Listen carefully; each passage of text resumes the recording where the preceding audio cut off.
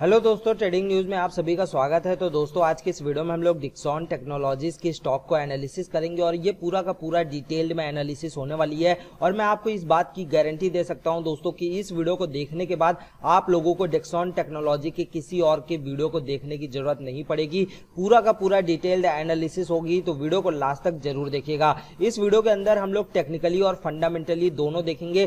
Fundamentally बात करेंगे, ये कंपनी कितनी स्ट्रांग है। आने वाले समय में आप लोगों को कितना रिटर्न दे सकती है? और टेक्निकली में हम लोग बात करेंगे कि भाई ये क्या इंपॉर्टेंट लेवल सपोर्ट और रेजिस्टेंस आप लोगों को प्रोवाइड कर सकता है। तो दोस्तों वीडियो शुरू करने से पहले मैं बताना चाहता हूँ, अगर आप लोगों को टेक्निकल एनालिसिस पूरा बिगनर लेवल से लेके एडवांस लेवल तक सीखना है तो आप हमारे इस कोर्स को ज्वाइन कर सकते हो। अभी इस कोर्स का price four five five rupees के आसपास चल रहा है दोस्तों। दोस्तों, इस कोर्स के अंदर आप लोगों को thirty day money back guarantee भी मिलती है। अगर ये कोर्स आपको पसंद नहीं आता तो आप इसको थर्टी डेज़ के अंदर रिटर्न भी कर सकते हो। इस कोर्स का लिंक मैंने आप लोगों को डिस्क्रिप्शन में दे रखा है तो वहाँ से क्लिक करके सिंपली इस कोर्स को इनरोल कर सकते हो। तो चलो, यहाँ पे सबसे पहले हम आप लोगों के सामने यहाँ पे फंडामेंटली बात कर लेते हैं। दोस्तों फंडामेंटली इस स्टॉक कितना स्ट्रांग है और क्या आप लोगों को फंडामेंटली इस कंपनी में स्ट्रांग देखने को मिल रहा है? फंडामेंटली बात करेंगे, उसके बाद हम लोग प्राइस एक्शन के थ्रू टेक्निकली चार्ट को समझेंगे। तो चलिए, सबसे पहले यहाँ पर इस कंपनी के फाइव ईयर के रिटर्न की बात कर लूँ। तो दोस्तों, ये पाँच साल में जो कंपनी रिटर्न दी है 500 परसेंट से भी ज़्यादा का रिटर्न आप लोगों को यहाँ पर देखने को मिल रहा है डिक्सॉन टेक्नोलॉजी की। वहीं पे वन ईयर की बात कर लूँ तो वन ईयर में ही आप लोगों को 477 परसेंट का रिटर्न यहाँ पर आप लोगों को डेक्सॉन में देखने को मिली। वन मंथ की बात कर लूँ तो ये आंकड़ा अब निगेटिव में आ जाता है क्योंकि वन मंथ में अगर बात करेंगे तो वन की गिरावट रही है।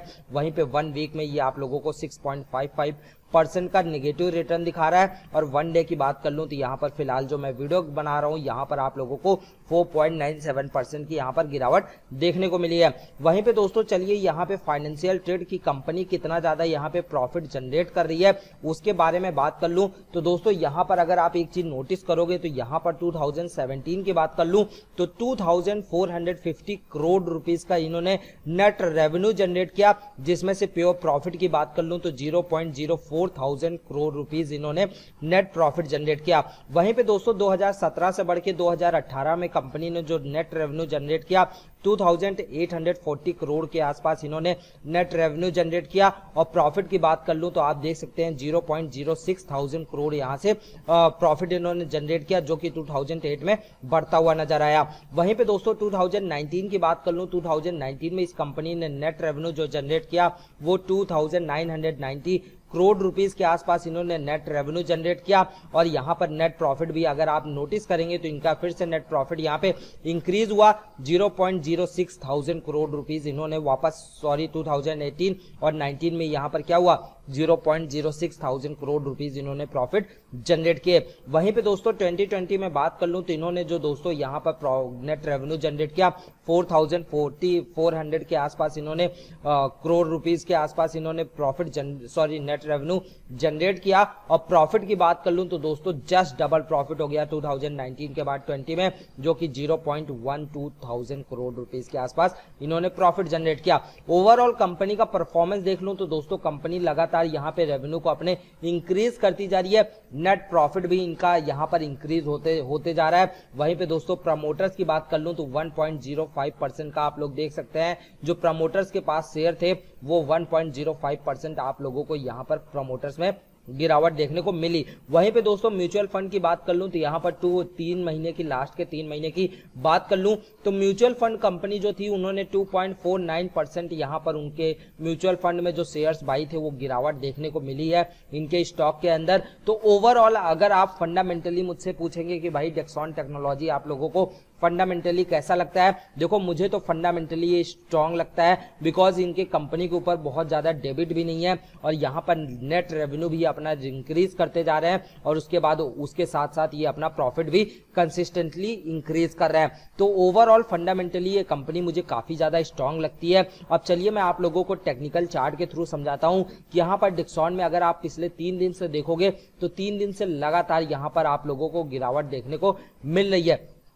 अभी ये गिरावट कहाँ तक आ सकती है दोस्तों? उसके बारे में हम लोग बात करेंगे। तो सबसे पहले मैंने यहाँ पर आप लोगों के सामने डेली चार्ट को ओपन कर रखा है दोस्तों। और अब मैं आप लोगों को डेली चार्ट के थ्रू समझाता हूँ कि यहाँ पर डिक्सॉन में आप लोगों के सामने क्या हो रहा है। अगर डिक्सॉन में आप एक चीज़ नोटिस करोगे तो दोस्तों यहाँ पर डिक्सॉन जो लगातार यहाँ पे भाग रहा है दोस्तों, लगातार क्या कर रहा है? इसी ट्रेंड लाइन के सहारे, ये इसी ट्रेंड लाइन के सहारे क्या कर रहा है? बार बार सपोर्ट लेते हुए इसी ट्रेंड लाइन के सहारे ये डिक्सॉन टेक्नोलॉजी आप लोगों को स्टॉक भागता हुआ नज़र आ रहा है। जब तक इस ट्रेंड लाइन के ऊपर बना रहेगा। दोस्तों डेक्सॉन में आप लोगों को तेज़ी देखने को मिलेगी। मैं फिर से बोल रहा हूँ, आप इस चार्ट को ध्यान से देख लेना स्क्रीनशॉट ले लेना। इस चार्ट को आप चाहो तो ड्रॉ भी कर सकते हो डेली में। जब तक इस ट्रेंड लाइन के ऊपर डेक्सॉन का ये स्टॉक बना हुआ है तब तक आप लोगों को डेक्सॉन के अंदर तेज़ी देखने को मिलेगी। और जिस दिन ये अपनी स्टैंड लाइन को ब्रेक करता है दोस्तों ब्रेक करने के बाद यहाँ पे तैतीस हज़ार का एक सपोर्ट मिलेगा।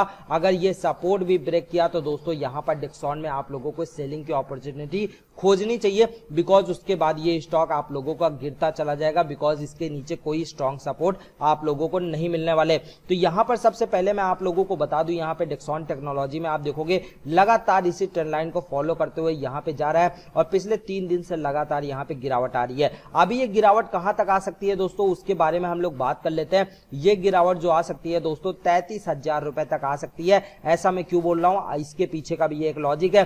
पिछली बार जब ये डेक्सॉन टेक्नोलॉजी स्टॉक भागना कोशिश कर रहा था तो क्या हुआ? यहाँ पर रेजिस्टेंस फेस किया रेजिस्टेंस फेस किया और इसी ट्रेंड लाइन के आसपास क्या हो रहा है ये? इसी ट्रेंड लाइन के आसपास क्या कर रहा है? ये सपोर्ट लेता हुआ दोस्तों, ऊपर की तरफ़ मूवमेंट शो कर रहा है। तो वापस से अब अगर ये गिरेगा तो कहीं ना कहीं एक तो ये सपोर्ट काम करेगा, जो तैतीस का है। और दूसरा, ये जो ट्रेंड लाइन है हमारा, जो कि ट्रेंड लाइन का सपोर्ट लेगा, वो सपोर्ट यहाँ पे काम करेगा। तो दो दो सपोर्ट यहाँ पे एक्ट करने वाले हैं डेक्सॉन टेक्नोलॉजी में। तो यहाँ पर तैतीस से चौतीस के बीच में आप लोगों को स्टॉक को बाई करना चाहिए। और आने वाले कुछ ही दिनों में दोस्तों, आप लोगों को जो पहला टारगेट पैंतालीस हज़ार sorry four thousand five hundred rupees के आसपास टारगेट आप लोगों को डेक्सॉन में मिलने वाले हैं। आने वाले कुछ ही दिनों में मिल जाएँगे। ये हमारा पहला टारगेट रहने वाला है। और दूसरा टारगेट जो हमारा रहेगा दोस्तों, वो फाइव थाउज़ेंड वन के आसपास ये आप लोगों को स्टॉक दिख जाएगा। और जो हमारा थर्ड और आखिरी टारगेट रहेगा 2021 के लास्ट तक वो रहेगा 5862 का। तो फ़िलहाल यहाँ पे 3300 या 3400 रुपीस के आसपास आप लोग डेक्सॉन को बाई कर सकते हैं। बाई करने के बाद दोस्तों 3000 के आसपास आप लोगों का इसका स्टॉप लॉस होना चाहिए और 3000 के ऊपर ही मुझे लगता है ये स्टॉक रहेगा और आने वाले कुछ ही दिनों में आप लोगों को एक अच्छा रिटर्न आप लोगों को डेक्सॉन में देखने को मिलेगा। तो दोस्तों इसी तरीके की वीडियो मैं लाता रहता हूँ। टेलीग्राम चैनल पे जिन लोगों ने ज्वाइन नहीं कर रखा, बहुत सारी इन्फॉर्मेशन मैं वहाँ पर भी शेयर करता रहता हूँ। तो लिंक डिस्क्रिप्शन में दिया हुआ है। आप वहाँ से हमारे टेलीग्राम चैनल को ज्वाइन कर सकते हैं। आई होप दोस्तों आपको मेरी ये टेक्निकली और फंडामेंटल एनालिसिस पसंद आया होगा। पसंद आया होगा तो वीडियो को लाइक ज़रूर कर दीजिएगा। चैनल पे नया हो तो सब्सक्राइब कर देना। अब हम आपसे अगले वीडियो मुलाकात करेंगे। तब तक के लिए जय हिंद, जय भारत।